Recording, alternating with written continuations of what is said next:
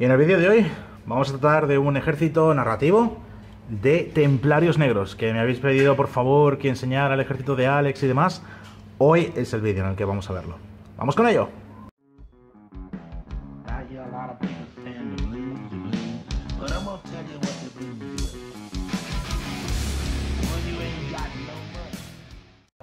Hey Wargamers, ¿cómo estáis? Max desde Mala Wargames, una vez más grabando aquí en Shark Games. Esta vez vamos a enseñaros el ejército de Alex, a ver si puedo haceros unos buenos zoom para que veáis todo lo que tiene aquí. Bueno, esto es una pequeña parte del ejército, ¿de acuerdo? Tiene, un, eh, por decirlo así, casi todas las miniaturas de manera espaciales que le molan. Eh, pintadas eh, con los colores de los templarios negros, casi todos con túnicas y demás. Muy molón, muy resultón. Y en este caso tenemos un ejército trasfondístico.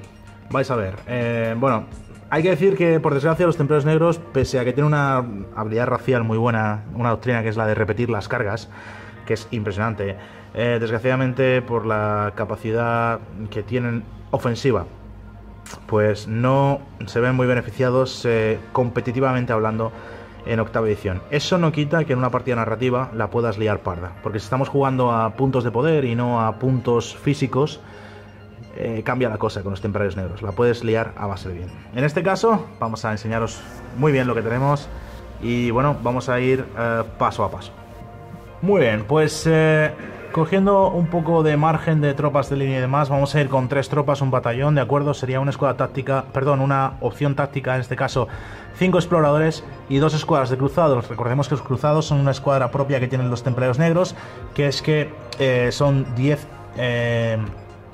10 iniciados y 5 neófitos, ¿vale?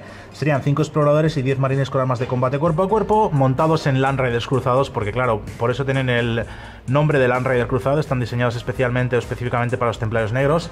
Tenemos un uh, capitán uh, templario negro, ¿vale? Que nos va a ir en moto para que tenga movilidad. Tenemos también una escuadra de asalto de templarios negros porque, bueno, nos va a dar esa eficiencia que necesitamos. Seguramente irán armados con armas de fusión eh, para caer en el momento necesario de reventar un vehículo.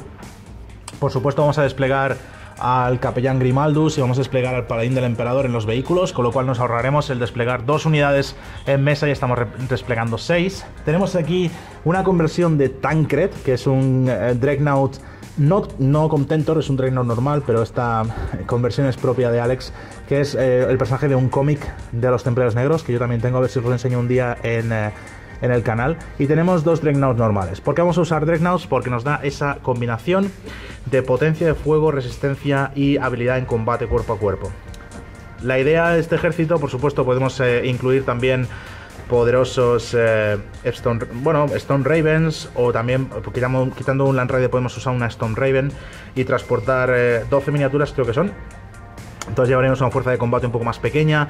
Podemos desplegar infinidad de opciones. Pero vamos, esta es la opción, por decirlo así, más trasfondística.